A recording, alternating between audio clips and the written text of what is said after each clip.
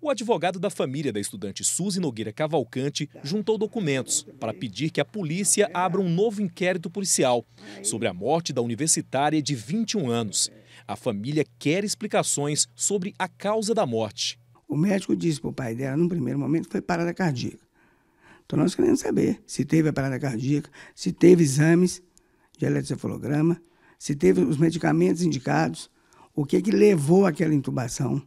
Eu quero saber a evolução do quadro dela dentro da UTI. A estudante de arquitetura morreu no dia 26 do mês passado, depois de ter sido abusada sexualmente por um técnico de enfermagem. Suzy estava na UTI do hospital depois de ser internada por causa de crises convulsivas.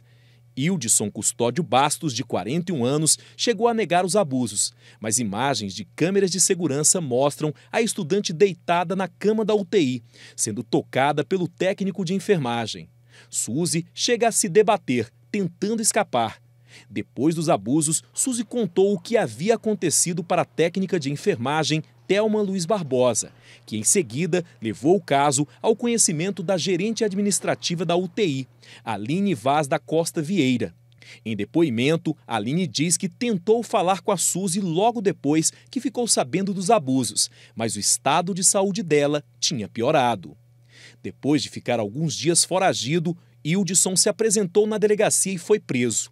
Depois que o caso foi mostrado pela imprensa, mais vítimas do técnico de enfermagem apareceram. Ele resolveu me dar banho, tocando nas minhas partes íntimas, falando que aquele procedimento era normal. Tanto a polícia quanto a família de Suzy aguardam agora o resultado do laudo do IML ficar pronto. Ele pode apontar com exatidão a causa da morte da estudante.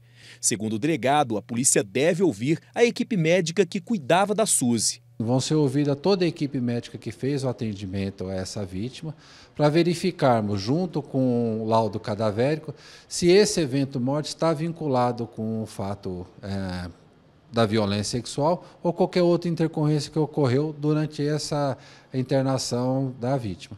O caso, por enquanto, está aqui na primeira regional da Polícia Civil, mas segundo o delegado, se coisas novas aparecerem, ele deve ser encaminhado para o nono DP ou até mesmo para uma delegacia especializada, como, por exemplo, a Delegacia de Homicídios. Verificar se essa morte decorreu da violência sexual, foi uma evolução natural da, da, da, doença que acometia, ou se por acaso alguma outra circunstância que agravou esse quadro de saúde e levou à morte.